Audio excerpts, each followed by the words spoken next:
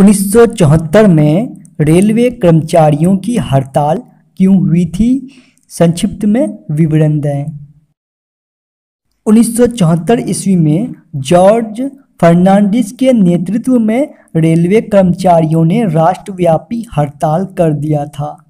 यह 1974 ईस्वी की सबसे बड़ी राष्ट्रव्यापी हड़ताल थी। यह हड़ताल बोनस और सेवा से जुड़ी शर्तों के संबंध में अपनी मांग को लेकर सरकार पर दबाव बनाने के लिए किया गया था। लेकिन केंद्र सरकार ने इस हड़ताल को असंवैधानिक करार दिया। सरकार ने हड़ताली कर्मचारियों की मांगों को मानने से इनकार कर दिया। उसने कई नेताओं को गिरफ़्तार कर रेल लाइनों की सुरक्षा में सेना को तैनात कर दिया। 20 दिन के बाद यह हड़ताल बिना किसी समझौते के वापस ले ली गई।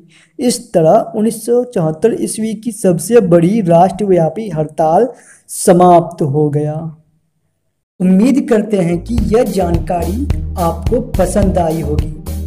मैं आपसे एक रिक्वेस्ट करूँगा कि इस वीडियो को लाइक कीजिए और अगर आप इस चैनल पर नए हैं तो इस चैनल को सब्सक्राइब कीजिए। वैसे वीडियो देखने के लिए धन्यवाद।